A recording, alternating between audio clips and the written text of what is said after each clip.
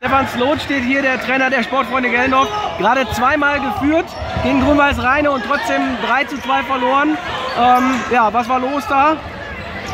Ja, was, was, soll man dazu sagen? Ich glaube, ähm, wir hatten das Spiel recht gut im Griff. Ne? Durch zwei individuelle Fehler ähm, gleicht Grün-Weiß jedes Mal aus. Natürlich auch eingeschränkt.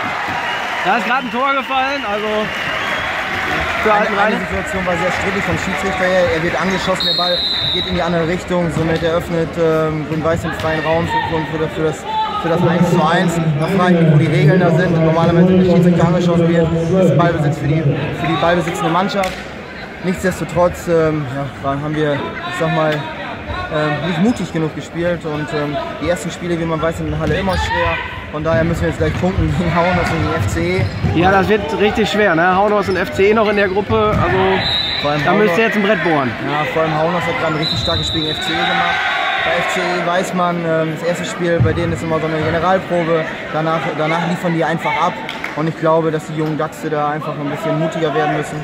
So wie unsere auch. Und ich bin der festen Überzeugung, dass wir auf jeden Fall gleich nicht klein beigeben werden. Ja, ihr habt gerade äh, gegen Grün-Weiß mit zwei, also Grün-Weiß hat mit zwei Spielern gespielt, die in der nächsten Saison für euch spielen. Ja. Insgesamt habt ihr drei Neuzugänge von Grün-Weiß. Hat das irgendwie äh, die besonders heiß gemacht? Was glaubst du? Ich denke mal, eine extra Portion äh, Motivation gibt, bringt das schon mit sich.